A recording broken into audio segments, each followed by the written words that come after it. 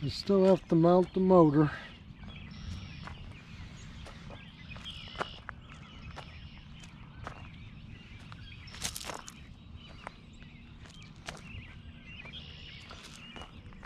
This is a Flair kit of a puppeteer.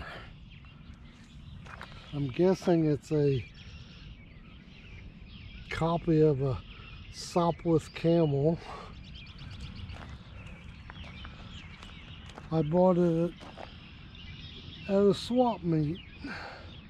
It needed some repairs and I painted it and just redid some decorations on it.